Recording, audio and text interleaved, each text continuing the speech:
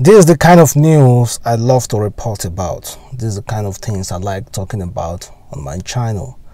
I don't know if you guys are familiar with EFCC. Yes, I bet you guys know EFCC. But do you know the head of EFCC, Ibrahim Magu? The dreaded, most fearless man, one of the most fearless men in Nigeria, the EFCC chairman. Where they come for you, nobody can save you. They are like the hunter. But right now, the hunter has become, has become the hunted. And uh, what we are hearing today is that the EFCC chairman, Ibrahim Magu, has been arrested by the DSS over alleged corruption. Of course, we know this for a long time. A lot of Nigerians already knew that this man is corrupted. Well, I don't know, but a lot of Nigerians knew this man is corrupted. You know, in this country, it's getting to a point that you need to be careful about what you report about, about the things that you report about, because anything can happen in this country. Anything at all can happen. I get, I hope you guys understand what I'm talking about. Currently, the EFCC chairman has been arrested. According to how it's written on the news, let me just read it. Acting chairman of EFCC, Ibrahim Magu, has been arrested by the Department of State and Service. His arrest comes a few days after Abubakar Malami, Attorney General of the Federation, accused him of gross infractions. He was arrested over allegation that he owned four properties and that he was allegedly transferring funds abroad through a third party. According to reports, the EFCC chief traveled to Dubai in the United Arab Emirates without the authorization of the president during the COVID the COVID-19 lockdown. During COVID-19 lockdown, this man still have access to travel. While the back then on one of my video, I said that this lockdown that we are seeing the government saying okay lockdown, it's not meant for them. It's meant for us. Them they still have access to travel. Just imagine. Why is it that this dubai is their playing ground? Anybody any anybody that has money that have stolen money the first thing it goes the first the first place it goes to is dubai.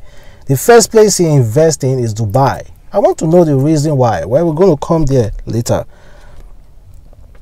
and when he was queried for going to dubai he said he went for an investigation he also allegedly to be living above his means. Of course, we already know that. A lot of government officials, a lot of uh, uh, government employees, a lot of uh, people who have the opportunity, politicians, of course, they are all living above their means. You see them buy private jet, buying uh, Ferrari, all those kind of stuff. They are all living above their means, and we know why. People keep coming out saying, oh, this person is living above, he's a government official, living above his means. You and I know where they are getting that money from. We shouldn't be su surprised. It's the constituency money, the money meant for your development in your constituency, your, in your community. Those are the money is using to flex. So don't act surprised. And also, okay, the DSS in 2016 report revealed that the accused, the accused was living in a 40 million mansion paid by one Umar Muhammad, a retired air commando who is allegedly involved in shading deals.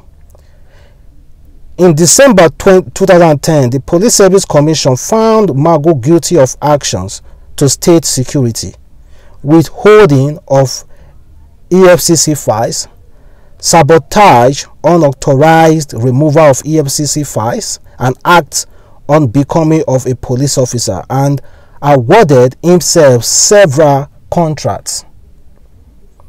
Magu is currently occupying a residence rented for 40 million at 20 million per annum.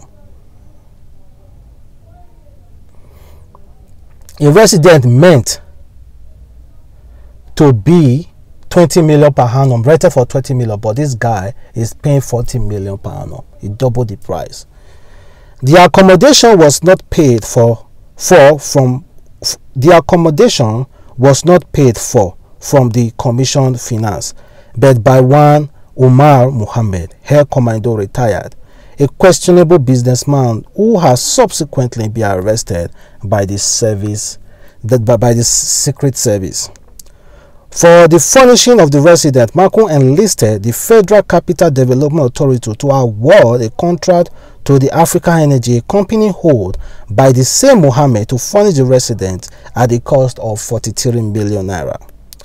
Investigations show that the acting EFCC chairman regularly embarked on official and private trips through a private jet owned by Mohammed. In one of the trips, Magu flew to Maiduguri alongside Mohammed with a bank MD who was being investigated by the EFCC over complicit in the fund allegedly stolen by the immediate past petroleum minister Diezani Alison Madueke. The EFCC reported, the DSS reported, sorry. First thing, guys, why do all those politicians love to invest in Dubai? Because Dubai economy welcomed everybody. Then why did they then allow the FBI to arrest Hushpuppi then? If they allow that kind of thing to happen in Dubai, they allow all sorts of criminals, all sorts of uh, people who have stolen money from their countries to come to Dubai to invest to invest, then why did they just give Hushpuppi as a sacrifice to AF to FBI and the Interpol? Why then? Because a lot of politicians who stole from Africa go there to invest their money, go there to buy a lot of properties. But then you are allowing EFCC to arrest person like Mompha. You are allowing them to arrest somebody like Hushpuppi. You know, this life, like I have said before, this life no balance oh this life is not balanced at all it's not balanced at all this life when you are not like when you they don't have any need for you they just push you one side human being makes the laws and they break the law too so it's quite unfortunate that EFC uh, that somebody like uh, I don't want to I don't want to. Quite unfortunate for people like EFCC in their way. I'm not talking about me. It's quite unfortunate for them that they have been sacrificed to FBI and the Interpol because we know we have a lot of politicians. But the money being mentioned on this case is small money compared to what our politicians actually taking. You cannot tell me Magu just uh, being accused of 43 million naira, 40 million naira. No, no, no. I don't want to say anything that I don't know, but we all know that that man, all those EFCC people, they collect bribe. They do collect bribe. Mompha today came, they arrested him and they freed him. If uh, EFCC were able to extradite uh, uh, Hushpuppi to Nigeria, Hushpuppi will be working freely by now. Or let me say in a month's time, a few months' time, Hushpuppi will be working freely. We all know all those things, guys. You know that, that we all know. But, well, that is what they are reporting now. And one thing is that I don't know why they are arresting this guy. Is it that he's no longer doing the bidding, or maybe he messed up in somewhere? Because this is the ruling party guy. He is the ruling party guy. The ruling party uh, put him there. So why now the ruling party are the one dealing with him? You understand what I mean?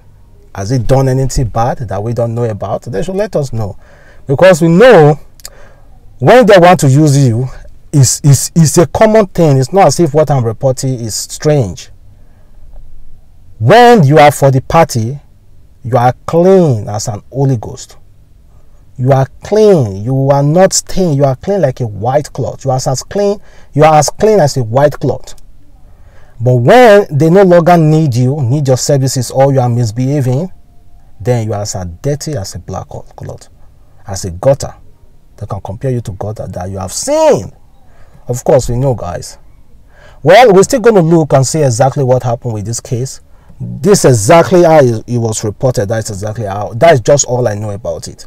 So let's leave our comment. Those of you are familiar with Nigeria, who are familiar with Nigeria system, I know many of you guys are familiar with Nigeria system, with the EFCC and so many others, uh, with the EFCC most especially you know how they usually go for Yahoo boys. In fact, the the major the major duty of EFCC to go after politicians, government uh, uh, people who are holding uh, government offices, when whenever they steal money or, or misuse money, they are meant to go after them. But now they are not focused on that any longer. The, what they are focused on is on Yahoo boys. Before you know it, as soon as they go to an hotel, just park boys. We start doing proper investigation because there are some people they just come there to chill, to relax. They go to a club, park boys. They will just parade them. They are all Yahoo Yahoo guys. Without proper investigation, both the innocent and the guilty, they will call them Yahoo Yahoo guys. Just because they want the federal government or Nigerians to see that they are doing work, or the international body out there to see they are doing work.